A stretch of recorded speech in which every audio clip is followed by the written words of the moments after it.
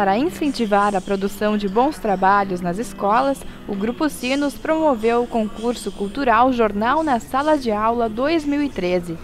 A premiação ocorreu na tarde de terça-feira no Campus 2 da Fevale. O projeto premiou as cinco professoras com as melhores práticas de 2013. Participaram professoras das redes pública e privada de toda a região, envolvendo os jornais NH, VS, Diário de Canoas, Diário de Cachoeirinha, Correio de Gravataí e Jornal de Gramado. Entre as cinco escolas selecionadas, duas são de Novo Hamburgo e duas de Campo Bom.